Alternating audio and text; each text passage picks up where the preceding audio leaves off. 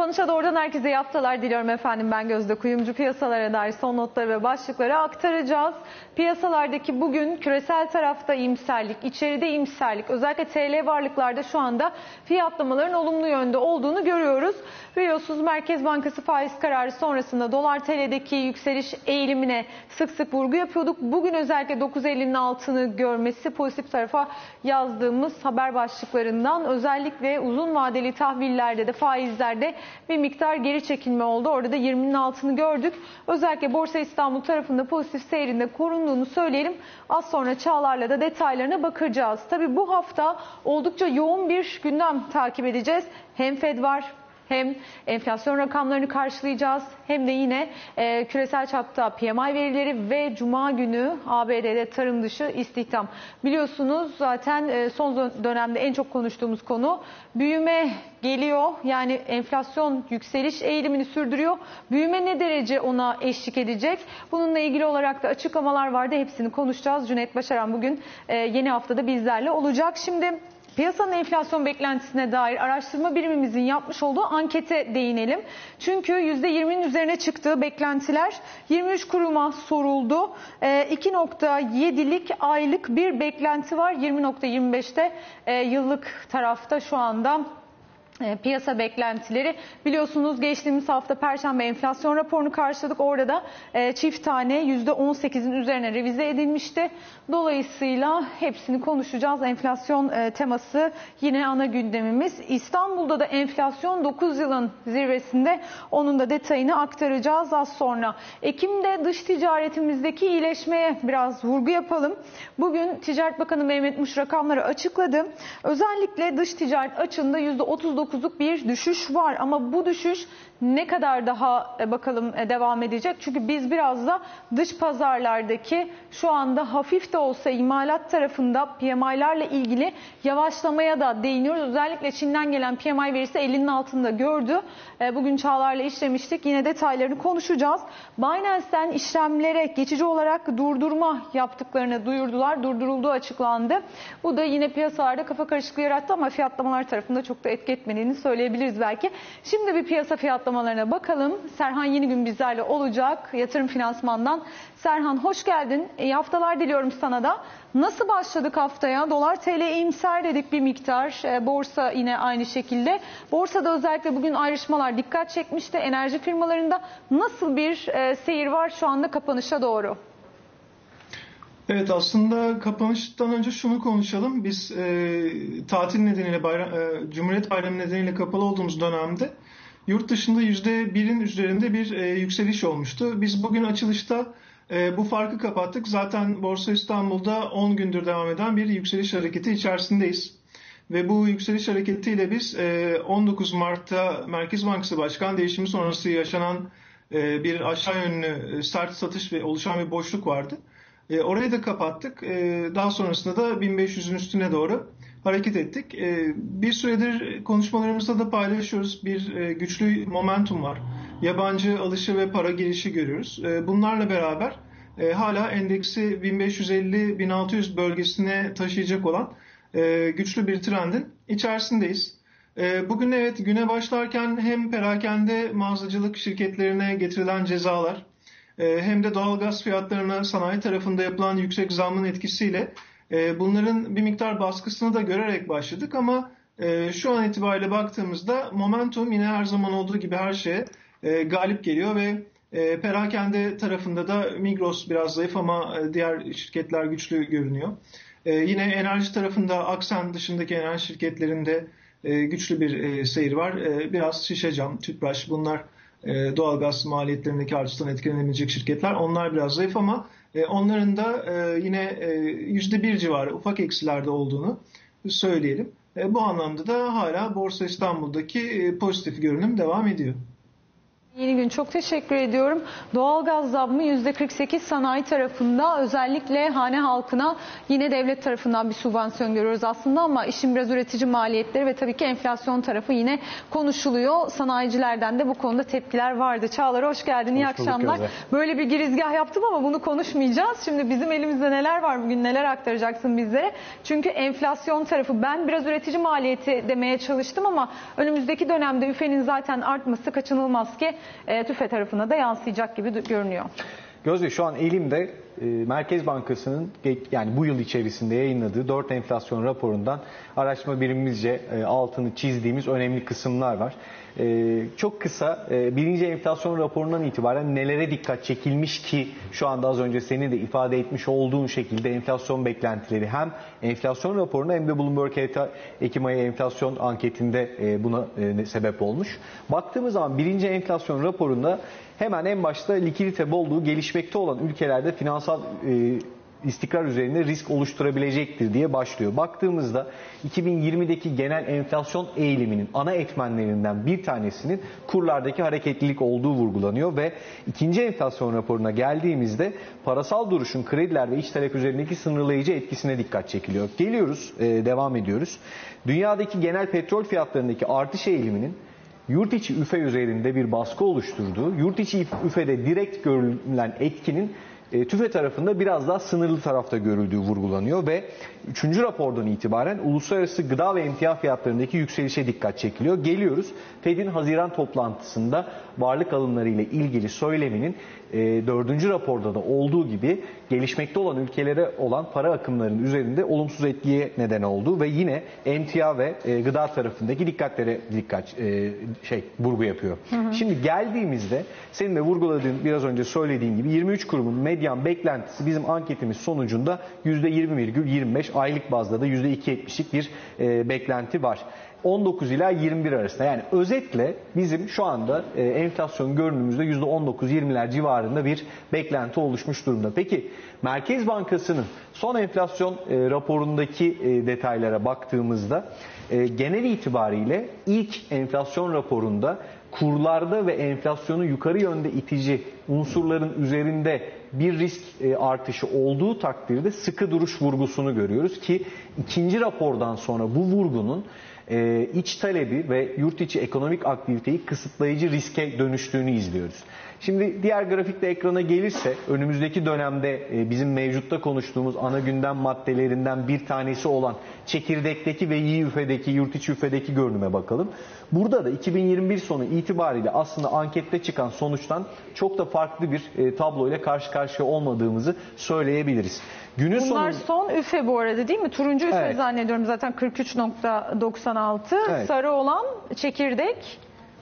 Bu, da, son enflasyon verimiz, tüfe verimiz. Yıllık. hı hı. Şimdi dördüncü enflasyon raporunda genel itibariyle yine 2020 yılındaki enflasyonu yukarı yönde etkileyen ana dinamiklerden biri olan kura bir atıf var. Ama bununla beraber e, modellemenin yani enflasyonun bir müddet sonra daha normal seviyelere çekilmesinin senaryosunun e, Yellen'ın bugün konuşması önemli. Avrupa Birliği Merkez Bankası'nın son mesajları önemli ama her şeyin bir şekilde yoluna gireceği varsayımı üzerine temellendirilmiş. E bugün imalat e, verilerini karşıladık. Seninle öğlen dijital yayında da Konuştuk, konuştuk. evet. Peki 3 nokta koyduğumuz yerde imalat verileriyle ilgili e, IHS yöneticisinin yaptığı uyarıda dördüncü çeyrek şirketler için zor geçecekteki o 3 nokta kötü senaryo ya da olumsuz senaryo gerçekleşirse bu enflasyon beklentileri nasıl realize edilecek?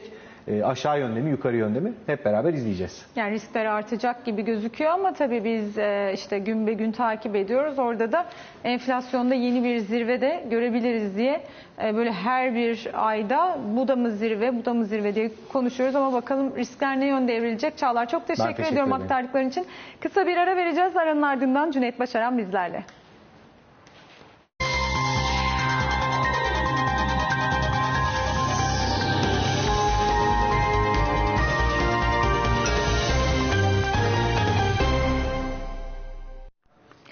Kapanışa doğru kaldığı yerden devam ediyor. Cüneyt Başaran Londra'da bizlerle. Cüneyt hoş geldin. İyi haftalar.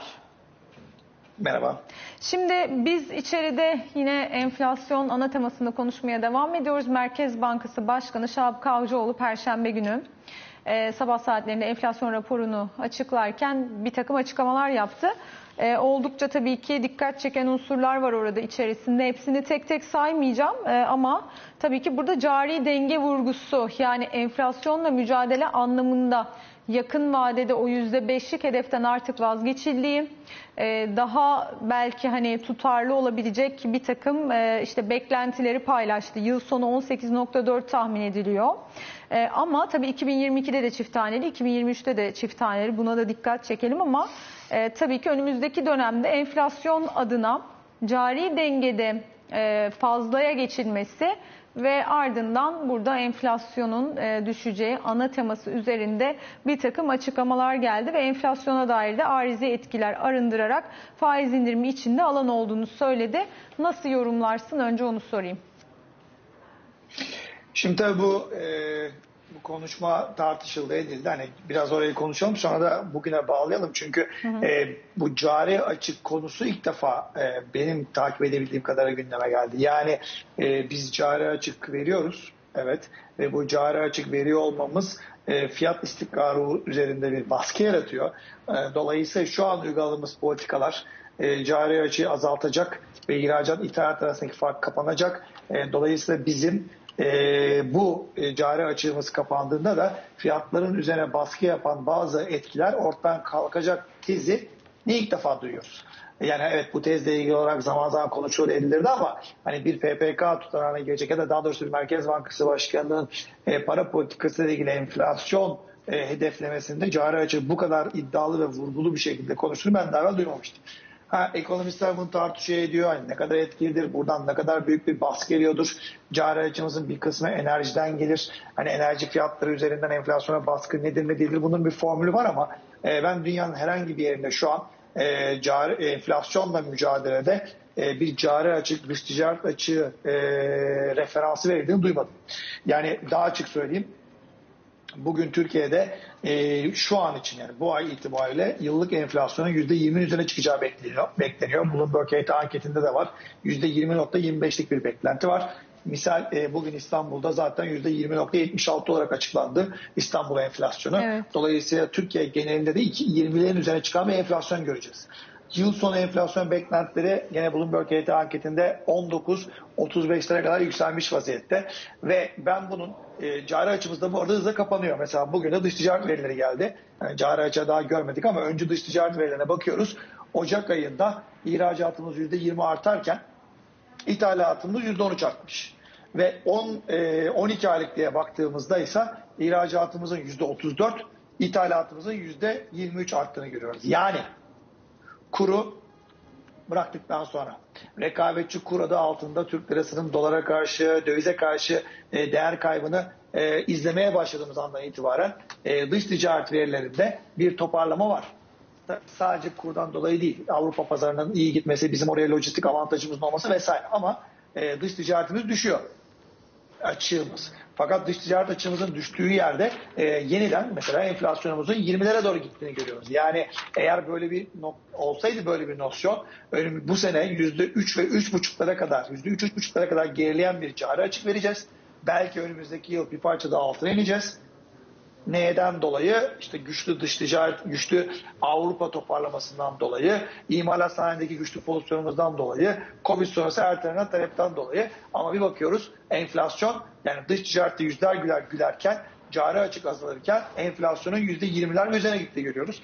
Dolayısıyla ben Sayın Başkan'ın bu hani cari açığı e, kapatırsak e, buradaki e, zayıflığımızı ya da buradaki sıkıntılarımızı azaltırsak fiyatların üzerine baskı yaratmayacaktır tezini neye göre hangi e, bilimsel veri üzerinden verdiğini bilmiyorum. Ama şunu biliyorum dünyanın her yerinde faiz artışları devam ediyor e, gözde. Mesela Rusya. Rusya petrol fiyatlarının yükselişinden en fazla hani cari fazla verebilmesi, ticaret fazla verebilmesi açısından mutlu olması gereken bir ülke herhalde. Ee, Rusya bu yılın başından beri 6 kez faiz arttırdı. %7,5'a çekti e, fa- e, faizlerini ama enflasyon da 7,5 civarında ve hala faiz artış yapabileceği konusunda net olduğunu söylüyor. Mesela Brezilya. Emtia üreticisi. Dolayısıyla emtia fiyatları yukarı gitmişken e, yüzü gülen ülkelerden bir tanesi bizim gibi petrol ithalatçısı değil ya da bizim gibi Rusya gibi mesela Rusya petrol ithalatçısı değil. İşte e, Brezilya'da bizimki gibi emtia ithalatçısı değil. Ama bakıyoruz Brezilya'da da e, hızlı bir faiz artışı var. %10'lar civarına gelen bir enflasyona mücadele etmek için. Dolayısıyla toparlıyorum. E, Sayın Kavcıoğlu'nun e, cari açığı azaltırsak enflasyonda fiyat istikrarını yakalarız söyleminde e, mutlaka e, bir şey vardır. Yani orada bir geçişkenlik vardır ama e, şu anki para politikamızın dünyanın geri kalan güç hiçbir ülkesiyle hemen hemen uyuşmadığı, Fed'in faiz arttırmak için zaman yokladığı, Avrupa Merkez Bankası'nın piyasa tarafından sıkıştırıldığı, İngiltere'nin ben önümüzdeki ay faiz arttıracağım demek zorunda kaldı. İşte biraz önce Rusya'yı söyledik. Güney Kore e, faiz artışı için geliyor. Macaristan, Avustralya, aklına gelecek her ülkenin faiz arttırdığı bir yerde cari açık söylemi üzerinden para politikasının neden, yeterince sıkı olduğunu izahta zorlandığımızı düşünüyorum Gözde. Evet burada tabii e, biliyorsun bir e, en son yani gördüğümüz PPK metninde de cari fazla vurgusu çıkarılmıştı metinden. Ama cari denge tarafındaki işte iyileşmenin süreceği vesaire cari dengenin de sonuçta kompozisyona baktığımızda burada e, belki hani finansman tarafı sıkıntılı görünüyor. Yani sermaye girişleri yılbaşından bu yana hala çok düşük. Biraz işte turizmde tam hedeflenen olmadı. Enerji maliyetleri artıyor. Sadece bilmiyorum ihracata odaklı tabii ne kadar destekleyebilir ya da daha uzun vadeli mi bakılıyor? Tam bir hani yol haritası da aslında e, göremedik ama e, tabii ki biraz o cari denge tarafındaki hani gidişatı da seyretmek gerekiyor ama tabii ki şu anda ilk etapta gördüğümüz enerji e, krizi ve içeride işte bizde de biliyorsun e, enflasyon tarafına da yansımaları görülecek kısa vadede hemen gibi duruyor ki doğalgaza işte %48 zam geldi vesaire. Evet yani şimdi e, bir dünyadaki bir sadece Türkiye'nin değil dünyadaki her merkez bankasının işi zor. Şimdi bir yandan merkez bankaların alışılagelmiş bir ezberi var. Biz çekirdek enflasyona bakarız. Ne demek çekirdek enflasyon? Enerjiyi ayır, gıdayı ayır. Çünkü bunlar için bizim yapabileceğimiz bir şey yok. Benim para politikasını sıkılaştırmam ya da gevşetmem gıda enflasyonu üzerinde ya da e, enerji enflasyonu üzerinde fiyatlar üzerinde bir etki yaratmayacak. Ben onun dışındaki paranın arzıyla, taleple ve de paranın maliyetiyle ilgili kısma bakayım kısma. Fakat artık bu iş o kadar kolay değil. En son mesela İngiltere'de açıkladı bunu. Fed'den gelen yorumlar bu şekilde. E, ne deniyor? Evet belki enerji maliyetlerindeki artış, belki gıda maliyetlerindeki artış e, bizim için birinci öncelik değil ama bu artışın ikinci, üçüncü dalgalarını biz yönetmek zorundayız. Çünkü yüzde 48 siz doğal gaz fiyatlarına bu ülkede zam yapmak zorunda kaldığınızda bunu belki şöyle izah edebilirsiniz. Yani nasıl yapmayayım? Nihayetinde dünyada Avrupa'da doğal gaz maliyetleri 5 katına çıktı. İşte İngiltere'de 4-5 katına çıktı. Dünyanın her yerinde ciddi bir enerji krizinden bahsediliyor. Şu an enerjiyi bırak fiyatını arttırmayı, enerji bulmakta ve e, tedarik zincirinin güvenli olarak çalışmasını sağlamakta zorlanan bir ülkeler var. Dolayısıyla ben de enerji, pet, e, doğal gaz e, üreten bir ülke değilim ki ya da doğal gazı e, ithal ediyorum şu an. Elektrikte hala %30-35'ler civarında bir doğalgaz kullanımım var. Dolayısıyla, dolayısıyla bu doğalgaz maliyetlerini ya sineye çekeceğim, kamu olarak zarar yazacağım ya da e, bunu pas etmek zorundayım. Yani maliyetleri yansıtmak zorundayım. Şimdi bu hikayenin buraya kadar olan kısmı acı, nihayetinde vatandaşın cebini yakacak olan, nihayetinde tam kış ayında, yani gerçi şu an sanayide ama bir şekilde perakendeye de etkilenecektir. Ee, hem sanayide e, çarkların dönmesini daha zorlaştıracak hem de maliyetleri arttıracak ama hani dünyada olup bitenle uyumlu. Yani maalesef uyumlu. Fakat işin bu kısmını tamam deyip ondan sonra Merkez Bankası olarak iyi de biz bu işe bakmıyoruz çünkü biz çekirdeğe bakıyoruz diyemezsiniz. Çünkü o doğal gaz maliyetleri arttığında e, ister istemez o üretilen ürünün fiyatı da artacak. O ürünün üretilen fiyatı artınca rafa gelen fiyat ürünün fiyatı artacak. Ya da işte lojistik maliyetleri artacak. İkinci, üçüncü etki enflasyon maliyetleri artacak. Dolayısıyla siz bunu gözetmek zorundasınız. Bunu gözetmek için de uygulamış olduğunuz para politikasını biraz daha sıkılaştırmanız, kredi musluklarını bir parça daha sıkılaştırmanız ya da işte fiyat konusunda mesela tüketici kredileri ve diğer krediler konusundaki iştahı bir parça azaltmanız gerekecektir. Yani Rusya gibi bir ülke, doğal gaz zengini bir ülke, en büyük gelirini doğal gazdan yapan bir ülke, Brezilya gibi emtia zengini bir ülke, bu fiyatlar yukarı giderken dahi eğer faizlerini yukarı çekmek zorunda kalıyorlar ise Çünkü e, sadece bu değil, diğer etkilerden dolayı dünyada hızlı bir şekilde faizler yükseliyorsa, e, enflasyon artıyorsa bizim bir gelişmekte olan ülke olarak e, zamanı bırakacağız bu işi. Cari açık kapanınca bu da kapanacak. İşte bu geçiş, e, bu e, fiyat artışları geçicidir, arazidir bu sebepler. Tedarik zincirindeki sorunlar çözülünce aslında bunlar normalleşecektir deme lüksümüz olduğunu hiç zannetmiyorum. Tabii dediğin gibi faiz indirimi yapıldığı noktada ticari krediler vurgusu yapılmıştı sıkılaşma dolayısıyla oradaki işte ivmenin azaldığı vesaire diye. Mesela TOB gibi bir kurumun başkanı yani Rıfat Hisarcıklıoğlu da bugün işte gelen zamlarla ilgili tabii yorumda bulunmuş.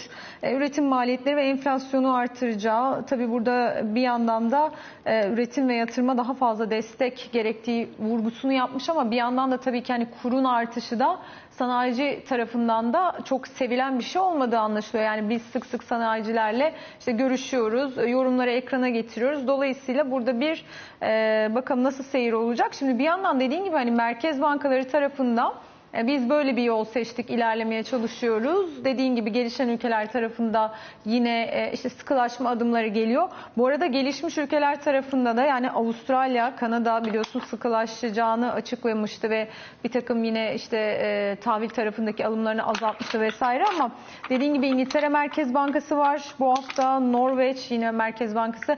Zaten Fed'i takip edeceğiz yakından. Biz de canlı yayında vereceğiz ama burada e, enflasyon geçici hani biz e, enflasyon arızi unsurlar diyoruz ama öyle mi acaba? Yani küresel taraf nasıl okuyor? Bugün Financial Times'ın da bir haberi vardı.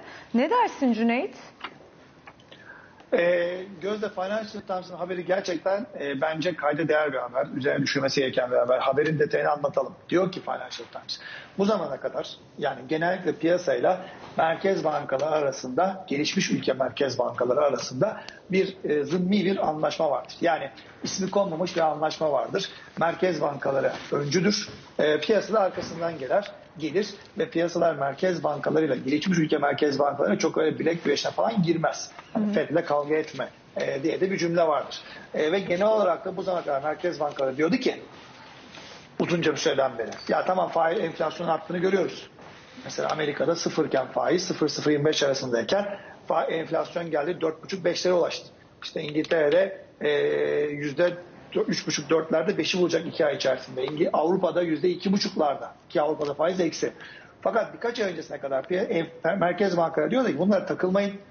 Burada işte tam bizim Merkez Bankası'nın da söylediği gibi bu geçici e, bu, bu geçici bir durum. E, işte tedarik zincirindeki bazı problemler çözüldüğünde bunlar geri gelecek diyor. Piyasada bunu kabul ediyordu. Hepimiz aynı gemideyiz derken. Ancak ancak birkaç aydan beri piyasanın zorladığını görüyoruz. E, piyasa e, eskiden hani kavga etmediği merkez bankalarıyla kavga etmek yerine onları tekrar bir kendinize gelin, silkelenin kendinize gelin. Acaba dediğiniz kadar rahat bir ortam yok mu denetmeye başlıyor. Keza ilk uyarı İngiltere aldı. İngiltere mesela 2022'deki faiz artışlarını 2021'e çekti çok e, hawkish yani oldukça şahin bir faiz artışı konusunda e, enteresan bir şekilde e, yorumda bulundu ve piyasada hemen buna karşılık işte İngiliz sterlini değer kazandı. İngiliz tahvillerinde bir toparlama var. E, geç işte Amerika'da Fed bugün e, e, Yellen, Hazine e, Bakanı Yellen e, çok diyor ben bunu böyle algılamıyorum diyor ama Yellen açıkça şu soruldu. Ya Amerikan 10 yıllık tahvil faizlerinin 1.60'a gitmesi, Amerikan 30 yıllıkların %2 ve üzerine gidiyor olması acaba piyasanın sizin söylediğiniz bu geçici, rahat olun, hepimiz aynı gemideyiz, panik yapmak yapmaya gerek yok noktasında sizden farklı mı düşünüyor sorusuna hayır düşündüğünü zannetmiyorum ama biz de önlem alıyoruz demeye başladı. Yani toparlayayım. Şu an e, en son Avrupa Merkez Bankası en geç politikaları uyguluyor. Christine Lagarde burada çok rahat gözüküyor. E, bırak faiz arttırımını e, tahvil alımının azaltılmasında bile çok yavaş ilerliyor ve yavaş yavaş Alman 10 yıllıklarının tekrar eksilerden sıfırlara geldiğini görüyoruz. Piyasanın orada da tırnak içerisinde tahvil faizi üzerinden terbiye ettiğini görüyoruz piyasanın. E, ve bir şekilde toparlayacak olursak daha evvel merkez bankaları bir şey söyler, piyasa arkasından gelir, herkes kazanırdı. Yıllardır böyle gitti. Fakat bu sefer piyasalar tuşa basıyor. Bu işin sonu iyi değil diyor. Hepimiz aynı gemide olabiliriz diyor. Ama normal bir kendine gel çünkü bu işin geçici olduğu konusunda bizim şüphelerimiz var demeye başlıyor. Evet Janet Yellen'ın açıklamaları önemli tabii. Yani tahvil e, piyasasındaki hareketliliğe ilişkin olarak yani toparlanma tarafında ne beklediği e, noktasında yani aslında hani yavaşlatıcı endişelerden uzak olduğunu söylüyor ama ne kadar ikna edici onlar hala soru işareti. Çünkü biliyorsun uluslararası kurumlar ya da işte yine merkez bankaları, hükümetler açıklamalarında İngiltere'yi ben yukarı yönlü revize ettiğini son olarak görmüştüm büyüme tarafında ama genel olarak aşağı yönlü revizyonları da görüyoruz. Ee, bakalım izleyeceğiz. Şimdi iklim değişikliği ile ilgili olarak Glasgow zirvesi öncesinde Biden'ın açıklamaları kıymetli. Biraz ona konuşalım istiyorum. Ee, şimdi burada bir ironi de var. Bir yandan petrol üreticilerine daha fazla üretim çağrısı yapıyor ama bu yeşil dönüşümde de Amerika'nın hani önder olmasını istiyor. Nasıl olacak Cüneyt? Deminki konuyla ilgili bir ekleme. Bence iki yıllık tahvil faizlerini Bloomberg izleyicileri takip etsinler. Amerika'da, İngiltere'de, Avrupa'da e, ve birçok gelişmiş ülkede en büyük tepki orada şu an ve bütün gelişmiş ülkelerdeki iki yıllık tahvil faizleri çok hızlı kafayı yukarı kaldırdı. Bu e, piyasanın merkez bankaların daha önce söylenen, e, söylediğinden daha erken faiz arttıracağı konusunda piyasaların artık net olduğunu gösteriyor. Gelelim COP20 e, 26'ya yani iklim değişikliği üzerine Glasgow'da yapılan zirveye. E, zirve gerçekten pazar günü büyük umutlarla başladı. E, bugün de devam ediyor ve bu zirvede e, birkaç şey başarılmaya çalışılıyor gözle. Burada öncelikle Amerikan Başkanı Biden e, dünyadaki bu iklim değişikliği konusundaki yol açıcı, yol gösterici ve liderlik rolünün Amerika'da olacağını göstermeye çalışıyor. Kendisinin yaklaşık 550 milyar dolarlık Amerika'da harcayacağı bu işte karbon emisyonu azaltıcı politikalar için harcayacağı bir para var. Onu masanın üzerine koydu ve büyük sükse yapıyor bununla. Aynı zamanda yıllık 100 milyar dolarlık da bir dışarıya kaynak vereceğini, geri kalan ülkeler de benzer bir şekilde kendi ülkelerine fosil enerjiden tekrar e, yenilebilir enerjiye geçiş, karbon emisyonu azaltma konusunda kendileri bağlayıcı, 2050 hedefi mi olur, 2040 hedefi mi olur, hedefler vermesi konusunda motive etmeye çalışıyor. Şimdi Biden bu noktada liderliği kimseye bırakmak istemiyor.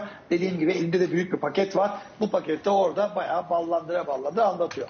Avrupa bu konuda Biden'ın yanında duruyor gibi gözüküyor. Zaten Avrupa 2030-2040 yılı hedeflerinde oldukça iddialı hedefler koydu ve bu 2000 özellikle 2030 yılı hedeflerinde 1990'lı yıllardaki karbon emisyonunun %55 altına kadar inme taahhütü var. Avrupa'nın, Avrupa Birliği'nin çok önemli sektörlerde, altına gelebilecek hemen her türlü sektörde 2026 yılından itibaren başlayacak bir karbon sınırı var, karbon üretim sınırı var. Bunun üzerine çıkanlar artık ciddi bir şekilde karbon vergisi ödemek zorunda kalacak. Avrupa'da bu konuda net. İngiltere keza Avrupa Birliği'nden ayrıldı ama ben en hızlı yeşil ekonomiye geçen ülke ben olacağım. E, bu konuda işte yenilenebilir enerji özellikle rüzgar enerjisine büyük para harcıyorum. E, hiç kimse geri adım atmasın diyor. Ve oklar kimi gösteriyor dersen e, gözde Rusya'yı gösteriyor. Suudi Arabistan'ı gösteriyor ve aynı zamanda Çin'i gösteriyor ve Hindistan'ı gösteriyor. E, bu anlamda özellikle Rusya, Çin ve e, Güney, e, Suudi Arabistan e, yeterince bu işe katkı vermiyor. Fosil enerji konusunda ısrarcı oluyorlar kömür başta olmak üzere buna olan bağımlılıklarını azaltmıyorlar diye eleştiriliyor. Hatta Biden çok net bir şekilde Avrupa'yı e, Rusya'nın bu kirli enerjisinden kurtaracağız dedi. E, ama o kirli enerji dediği enerji yani doğalgaz e, bu, bu kış belki de Avrupa'yı donmaktan kurtaracak. Dolayısıyla kafalar karışık. En sert tepkilerden bir tanesi Hindistan'dan geldi gözde. Hindistan diyor ki bu adil değil. Gelişmiş ülkeler bu zamana kadar dünyada yaratılan karbon emisyonunun, çevre kirliliğinin çok büyük bir kısmına imza attılar. Kendi ekonomilerini belli bir noktaya getirdiler. Fakat şu an istiyorlar ki her ülke aynı anda aynı adımları atsın. Ancak biz orada değiliz ve yıllık 100 milyar dolarlık Avrupa'nın, Amerika'nın verdiği yardımda hiçbir şey değil bu konuda. Dolayısıyla herkes samimi olsun diyor.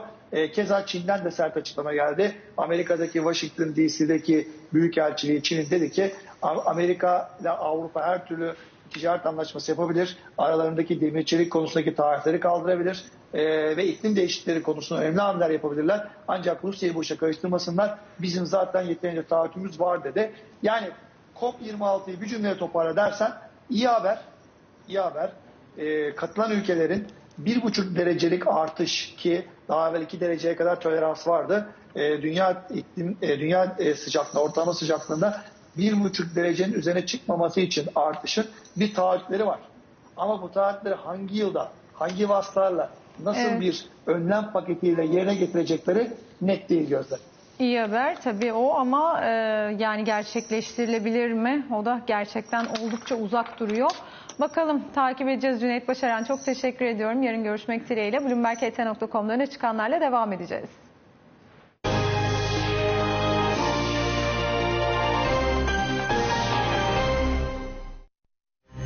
Avrupa'da enerji üretim ve dağıtım şirketlerinin hisseleri Eylül'de düşüş kaydederken enerji şirketlerinin hisseleri artan doğalgaz, kömür ve petrol fiyatlarıyla beraber yükselmişti.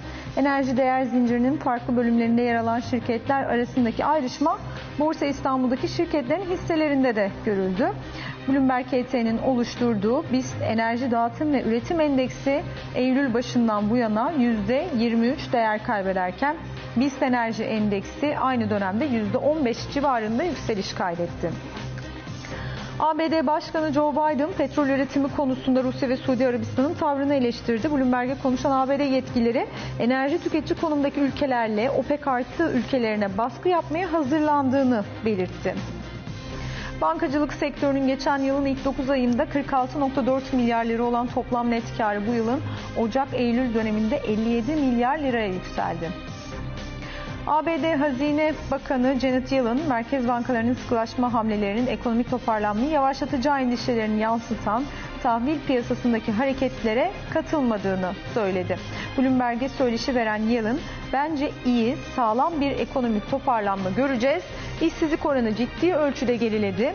Bu 2008 finans krizindeki toparlanmaya benzemiyor ifadelerini kullandı. Fed'in ne yapacağına karar vermede kullandığı bir çerçeve var diyen Yellen, Fed varlık alımlarını azaltmaya başlayacağını açıkla kavuşturdu değerlendirmesinde bulundu. Noktalıyoruz. Az sonra günden kalanlarıyla devam edeceğiz. Vedat Özdan bizlerle sorularınızı bekliyoruz.